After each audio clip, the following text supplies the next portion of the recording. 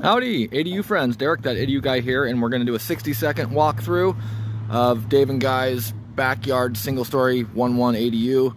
They rolled the roof yesterday, 2x12 rafters. The interior framing is just about complete. Nice kitchen area here, shear wall.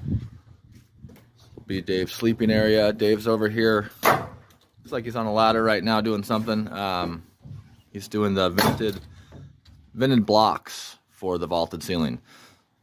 So one principle of a vaulted ceiling is you have to either do a warm roof where you blow in insulation or use rigid, or a cool roof where you have a two inch ventilation that comes in through each individual bay, through those vented bird blocks, and up and out the vault. Hope everybody's having a good day. Start planning your AD.